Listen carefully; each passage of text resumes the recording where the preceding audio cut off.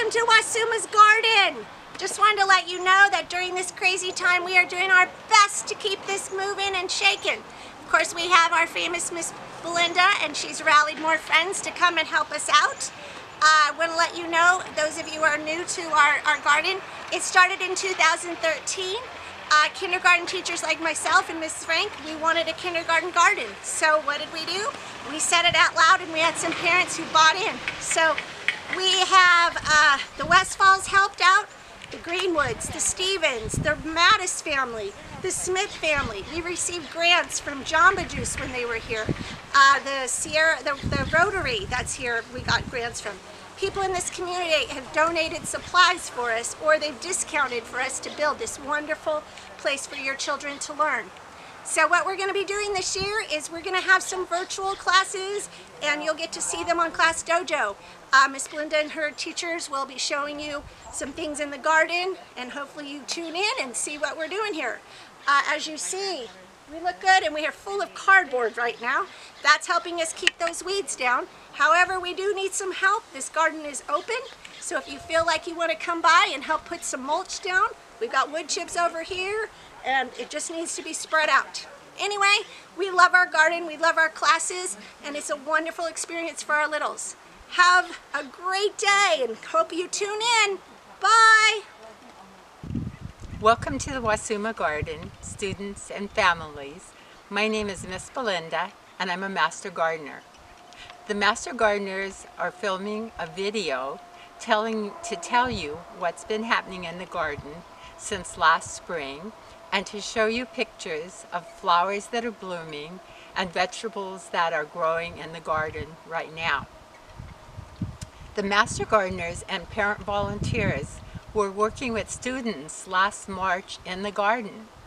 The first week in March, kindergartners planted succulents in small cups and first and second grade students worked with parent volunteers to move strawberry plants out of one of the boxes and into red cups. The second week in March, third, fourth, and fifth grade students uh, started cuttings of sage, manzanita, and geraniums and put them in flats of perlite. We were planning to give them to parents for Mother's Day, but then school closed. The good news is that teachers and parent volunteers and master gardeners planted the strawberry plants in an empty garden box in the Wasuma garden and they put the cuttings of sage into tubs outside of the garden fence. The first week in May, teachers, parent volunteers, and master gardeners pulled weeds in the garden box and they planted seeds and store-bought plants in the garden boxes. They're growing there still. The bad news is that the weeds were in the walkways were soon taller than the plants in the garden boxes. So teachers and parent volunteers and master gardeners decided to use sheet mulching. Sheet mulching is layers of cardboard that's covered with chips or mulch and the purpose is to control weeds and it also helps to hold moisture in the garden boxes and nutrients. But in the Wasuma garden, the purpose of the cardboard and sheet mulching is to control weeds. Soon you'll see pictures of flowers blooming and vegetables growing in the garden.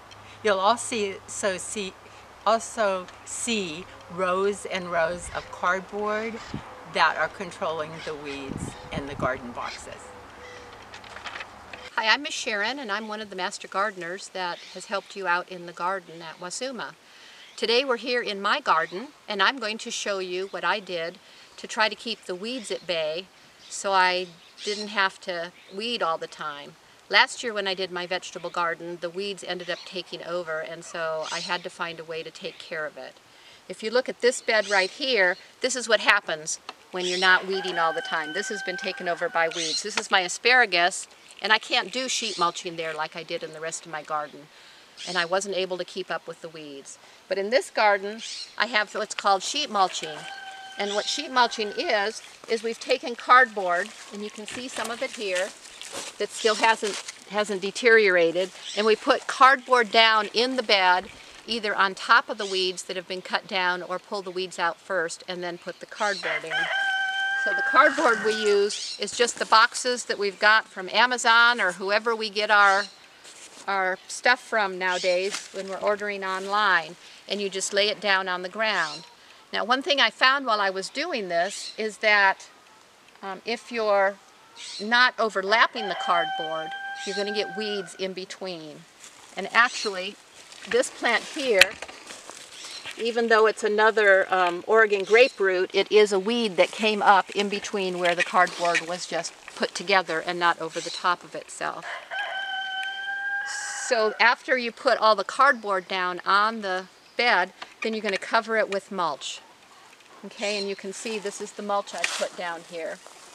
And this area of this bed is pretty dry because I don't have any plants right there, so it's not being watered. Um, but there's a number of advantages to having the sheet mulching. Now, I did it for the, for the weeds, but what I found out since then is I don't have to water as much as I used to because it helps keep the ground dry underneath. It's actually helping the plants grow better. They're not competing with the weeds.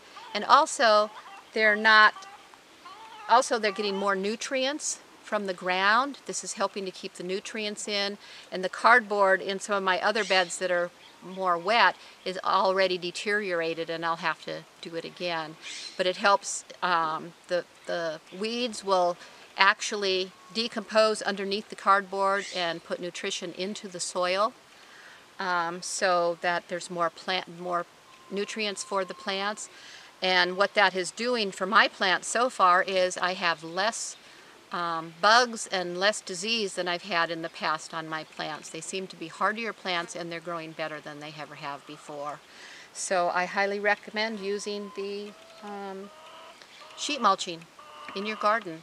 Now what I did after I put the sheet mulch down is I had to cut a hole where I wanted my plants to be planted. So if you water the garden first, it helps make the cardboard soft and then you're able to um, cut through the cardboard easier in order to put your plants in. But it's very simple to just cut through the cardboard, dig your hole, put your plants in, and you're ready to go. And I have had to weed a few weeds out, but very few, very few come up. And uh, it's just been wonderful for me. Hi, I'm Miss Carol. I'm a Madera County Master Gardener. Today, I'm at the Wasuma School Garden, which is absolutely lovely. I want to talk to you about a type of planting, which is called companion planting. Companion planting is when you plant certain plants together for the benefits they give one another. Many times these benefits are um, shading, protecting from the wind, keeping the soil moist.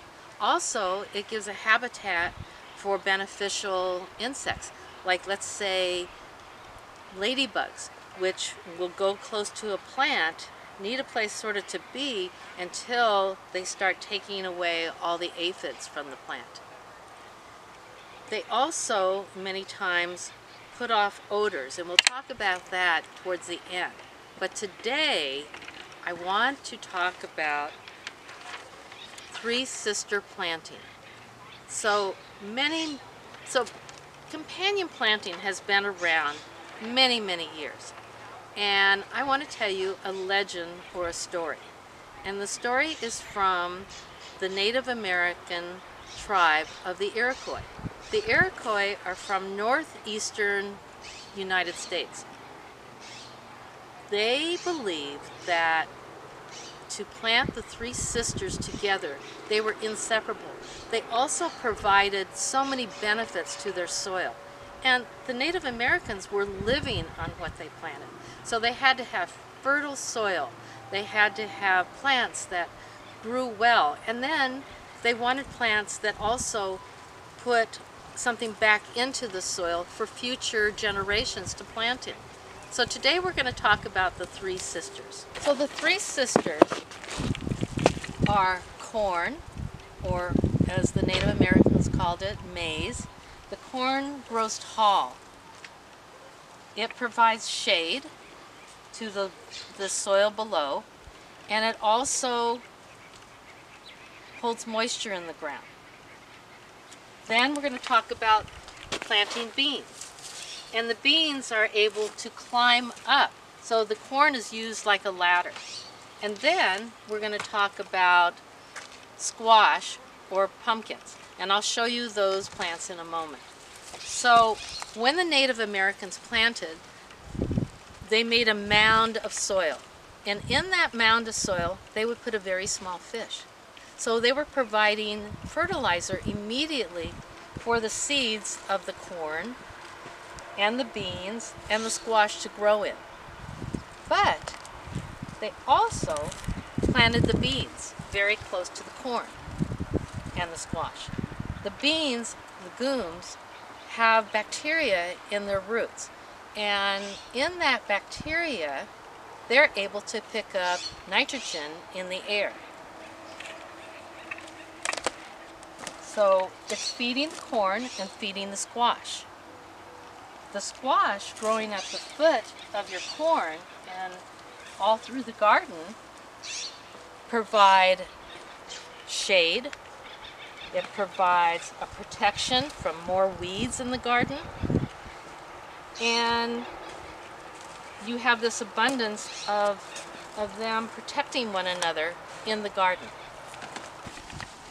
So at the end of the harvest, when all the corn has been harvested and all the squash and all the beans have fed the tribe, they take, the, the Native Americans would take all the leaves and all the stems and all the squash and cut it all up and put it right back into the mound, therefore fertilizing and making an abundant area for years for future gardeners, for future people to feed their families. Here at Wasuma, you have a compost bin. And in that compost bin last year, some pumpkins were put in there and they decomposed in the compost. And today, the compost bin is growing squash. So companion planting is sort of like everything working together to provide an abundance of food, of fertile soil, and, and also the exercise you get being out here doing this. So thank you so much, and I hope to see you soon in your garden.